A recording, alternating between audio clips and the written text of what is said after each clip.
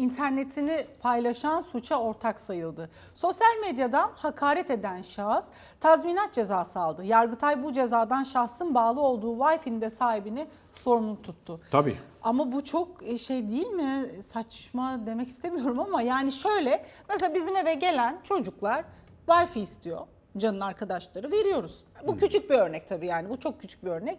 E herkes sonra otomatik evin oraya geldiğinde bağlanabiliyor. Tabii. E bilen biri gelsin, hakaret etsin etsin birine gitsin. Ben de mi sorumlu Tabii. tutulacağım? Çünkü siz bu imkanı sağlıyorsunuz beyefendi, hanımefendi. Taşıyıcılık yapıyorsunuz. O zaman kimseye Taşıyıcılık yok. suçtur tabii. Yani bir yerden bir yere taşımak e, suçtur. Bu bir sözü taşırsınız, bir fikri taşırsınız. E, yani Allah muhafaza tabii bunun işinde, bu işin ucunda ajanlık e, şeyi de vardır. E, sen e, buraya fazla girmeden şuraya dönelim. Sen tezgahını birisine e, efendim veriyorsun, o da orada bomba yapıyor. Ama efendim yani e, tezgah vardı zaten biz çalışıyorduk bu arkadaş da bir şey yapacaktı o da hadi yap falan dedik ama bomba yapmış. Nereden bileyim?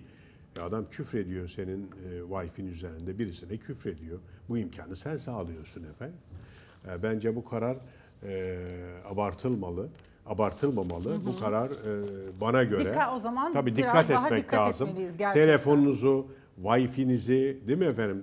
E, Farklı bir şeyin e, efendim özellerinizi özellikle sosyal medyada şurada burada diyoruz ya iletişim çağındayız. E, bu tezgahı insanların e, kullanımına sunmayın efendim. Mesela şimdi eskiden internet e, kafeler vardı. Buralara oturduğunuzda ona göre e, takip ediliyordunuz. Kim kullandı, sizden sonra kim kullanacak, adı ne, şu bu ne falan. Bunların hepsi sorgulanıyordu. Şimdi ne diyorsunuz abi otur kullan istediğin kadar.